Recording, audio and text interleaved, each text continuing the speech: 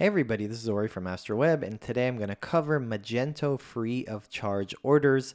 Basically, orders that the backend admin, the customer service, the business, whoever has access to the backend sales, they can go and create an order for a customer with no money needed, a free of charge order. Uh, so, when would you actually want to have free of charge orders? Uh, the most popular example would be maybe you're managing your RMA, your returns, and someone asks for a replacement and you want to track that that product and that order and you want to send notification email so you would create an order free of charge order because you're just replacing it. You would throw in the customer you would throw in the product you want to ship and then there would be a full flow of an order which you take on the warehouse take your SKU you ship it you have a tracking number and you can track it and then you can have all your data in one place uh, other than that, there might be some customer service or other reasons you might want to give an order that is zero dollars. Okay.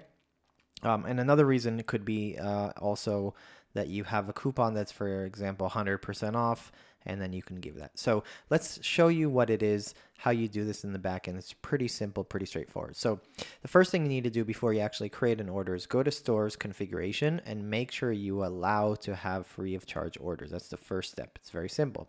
So what are you going to do? You're going to go here to sales and you're going to go to your payment methods and you're going to make sure that you enable the free of charge orders uh, right here. So let's scroll scroll down right here and we have a zero subtotal checkout. Do we allow this? Make sure it's on yes, right? If not, you can click here and make it yes. Um, once the free of charge order happens, you are going to select the actual status you want it to happen.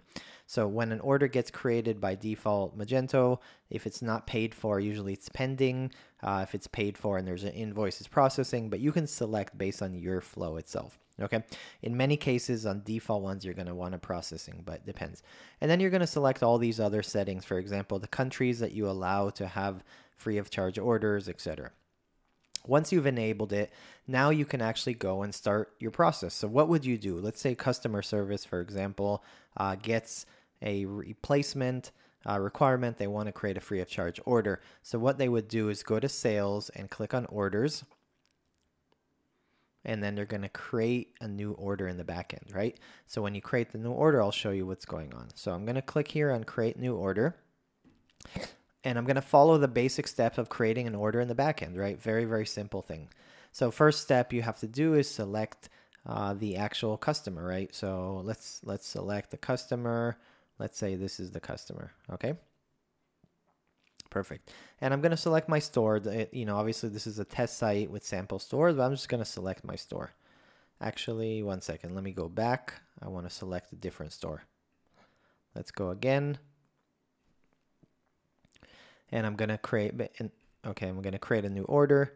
Uh, the reason I'm going back is I actually had a customer that was in a diff. So I'm going to go here to the Taiwan site, for example, and I'm going to uh, create an order for Taiwan site.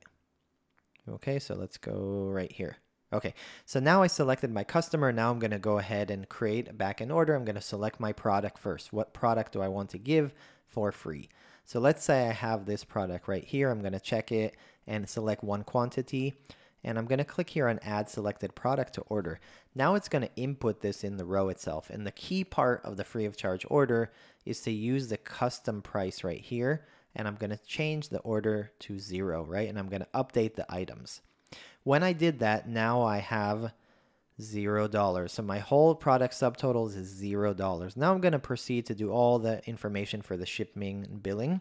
And I already have something auto-filled, so it's okay. And no payment is required, which obviously it's zero dollars. I'm going to click on get shipping methods. And if you, and then I'm going to select the free one. Now, if you do not have a free shipping method, you won't have a free of charge order. You might have subtotal zero because the products are zero, but you'll you'll have a shipping handling fee, whatever the money is. So you'd have to actually make in the store configuration a free of charge order or free of charge order if the subtotal is zero, either you know cart rule or the free shipping uh, module. So make sure you have this as well.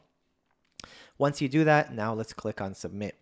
And if we did this correctly, now we have an order that is $0 and it can start to be processing, right? So now the order status is processing even though there's no payment that came through.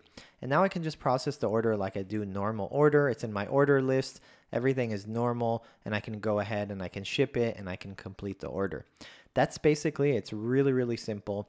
Um, if you guys have any questions about any customization, any specific flows of this kind of free of charge order, let me know. Um, that's it. Hope you guys joined the, eh, enjoyed the video. Subscribe. We're making more and more Magento, Shopify, e-commerce, web, Google Analytics, marketing, and anything web that we know. We're making videos to try to educate, to help people um, grow in e-commerce. Uh, ask questions, subscribe. I appreciate it, guys.